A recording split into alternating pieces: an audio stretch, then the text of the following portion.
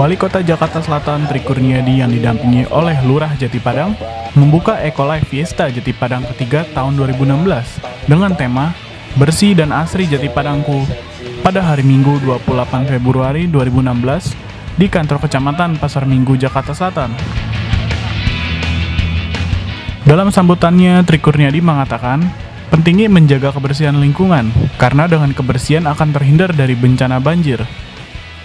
Tri Kurniadi juga berpesan kepada masyarakat bahwa pemerintah kota administrasi Jakarta Selatan akan membangkitkan lagi operasi tangkap tangan untuk memberikan efek jerah kepada masyarakat yang masih kedapatan membuang sampah tidak pada tempatnya akan langsung didenda Rp500.000. Sehingga kegiatan Ekolab ini menjelas, menjadi salah satu kebanggaan warga Jati Padang. Harapan saya tidak dengan seremonialnya saja, tapi bagaimana menjaga Jati Padang menjadi daerah yang bersih, ya, tidak menjadi daerah yang tempatnya sampah, tapi bagaimana daerah itu bersih, baik dari segi lingkungan maupun dari kegiatan-kegiatan buang sampah. Ya. Tentunya inilah yang kita harapkan peran serta masyarakat dalam rangka menjaga kebersihan, menjaga lingkungan yang terus kita lakukan. Tanpa dukungan masyarakat, saya yakin dan percaya nggak ada apa-apanya. Gitu, ya.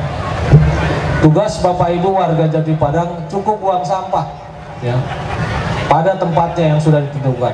Nah, kamilah Pak Kasudin Kebersihan beserta jajaran Pak Lurah itu yang akan mengangkat. Ya. Saya tidak berharap hujan seperti ini orang buang sampah ke kali. Memang enak buang begitu dibuang ke kali nggak kelihatan langsung ya. tapi kasihan saudara-saudara kita yang ada di utara ya. itu mengakibatkan sampahnya numpuk di sana ya. sehingga saya harapkan walaupun hujan seperti apa pun tidak lagi orang membuang sampah sembarangan baik itu di saluran maupun di sungai maupun saluran penghubung ya. saya dengan Pak Kasudin Keberanian sudah berencana akan melakukan tangkap tangan bagi mereka yang membuang sampah sembarangan langsung juga didenda hari itu 500 ribu ya, kita akan lakukan itu ya. karena nggak begitu kapan kita selesai ngurusin kebersihan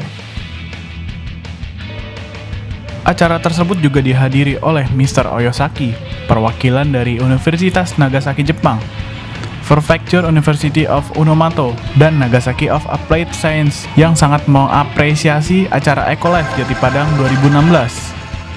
Dari kantor Kecamatan Pasar Minggu, tim Kominfo Mas Jakarta Selatan melaporkan.